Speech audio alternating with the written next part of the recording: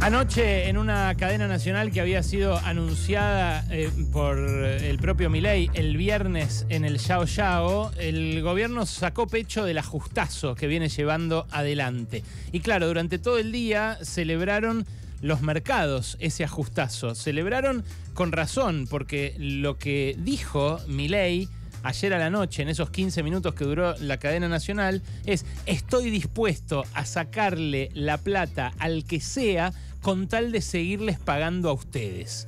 Esto eh, tuvo como eh, corolario eh, una disparada del Merval de casi el 7%, trepadas de los bonos que ya francamente más que duplican su valor desde diciembre hasta acá.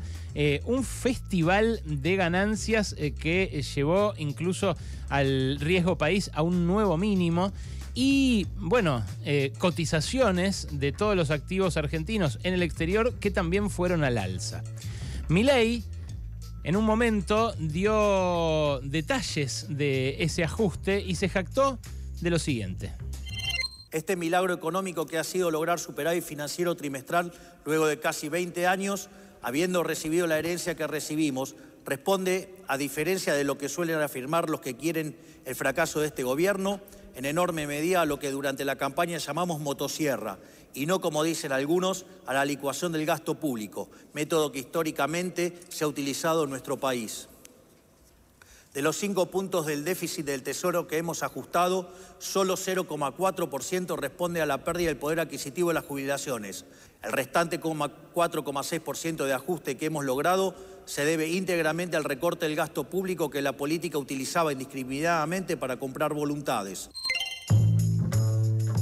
Escuchaste lo que dijo al final, ¿no? Que el grueso del ajuste se hizo sobre los métodos que utilizaba la política para comprar voluntades. Bueno, todos los números que da antes son mentira, son abiertamente falopa. Yo te lo paso a pesos porque me parece que es bastante más gráfico, bastante más fácil de entender. El recorte total a guita de hoy efectuado sobre el presupuesto nacional es de unos 8.3 billones de pesos.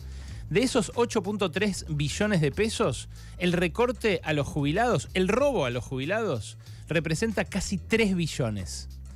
Como consecuencia de esto, las jubilaciones ya cayeron por debajo del nivel mísero de la década del 90, la década en la cual Norma Pla iba y le gritaba a los policías, vengan y marchen con nosotros, porque algún día van a ser jubilados también y van a recibir esta miseria. Repito, tres de los 8.3 billones de pesos que recortó mi ley, este milagro del que se jactó ayer, implican la devaluación de los saberes jubilatorios, que en el caso de los que cobran la mínima es del 25% en cuatro meses, el doble que el ajustazo de Bullrich en 2001 como ministra de Trabajo, y que para los que cobran más que la mínima es del 40% en este mismo lapso. En segundo lugar, el ajuste se debe a que frenaron todas las obras públicas. Dijo en otro tramito el presidente que, ya no los voy a aburrir con citas porque bueno, eh, las vienen escuchando toda la mañana, dijo en otro tramito que la obra pública, a la que también definió como un curro, como las universidades, eh, la van a hacer ahora los privados y que eso también va a generar ahorro. Bueno, la verdad es que no hay ni un marco normativo para que la hagan los privados. No la está haciendo nadie la obra pública. Y esto generó ya 80.000 despidos en las contratistas. Es 1.8 billones lo que ahorró el gobierno dejando inclusas estas obras necesarias eh, para la ciudadanía, en algunos casos a punto de concluirse. En algunos casos hay provincias que quieren poner la guita para terminarlas, pero no pueden por razones administrativas. En tercer lugar, el ajustazo se apoya en el endeudamiento con empresas energéticas. Esto eh, es simplemente no haber pagado la factura de luz y de gas. Son unos 800 mil millones de pesos en el primer trimestre, que en realidad no son un ahorro, son simplemente un endeudamiento forzoso porque a esas empresas le van a pagar en algún momento esto y ya se habla de eh, un bono en dólares para justamente compensar a esas, sobre todo petroleras, que tomaron medio a regañadientes esta deuda del gobierno. Por otra parte, el guadañazo recayó sobre los salarios públicos. Los estatales están laburando gratis un día por semana. ¿Cómo? Sí, están laburando gratis un día por semana porque les recortaron 20% del sueldo en términos reales. Entonces, si vos laburabas cinco días, eh, y ahora ganás eh, un 20% menos eh, y laburás lo mismo, bueno, estás yendo un día gratis. Así se ahorraron otros 600 mil millones de dólares. Por supuesto que el ajuste sobre las universidades está dentro de ese milagro que destacó anoche Milei, porque el ajuste, si mirás la partida que garantiza el funcionamiento de todas las universidades nacionales, es del 72%.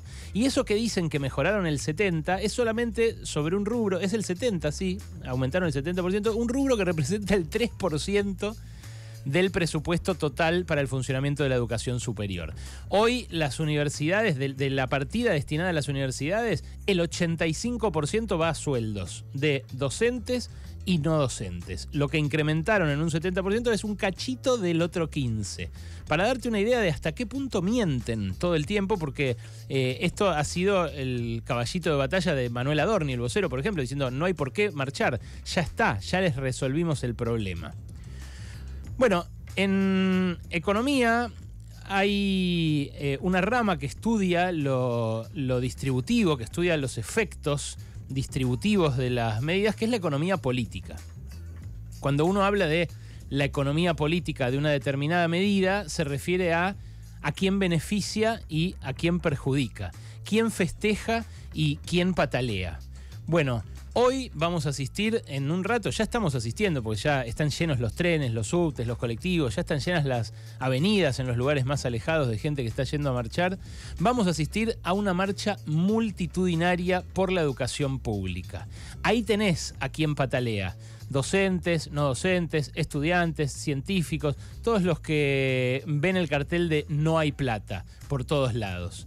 Del otro lado tenés a quien festeja. Los que festejan son los dueños de bonos y acciones que ya habían sido beneficiados por Sergio Massa el año pasado con un festival de emisión que incluyó bonos duales, de esos que si hay mucha inflación te pagan la inflación, si hay mucha devaluación te pagan lo que sube el dólar, pero que ahora recibieron una masa de dinero impresionante como consecuencia justamente de la motosierra y la licuadora sobre todos los demás.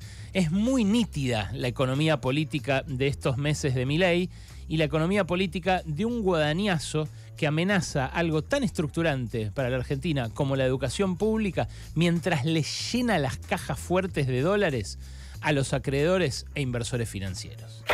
Pasaron cosas con Alejandro Berkovich en Radio con Vos.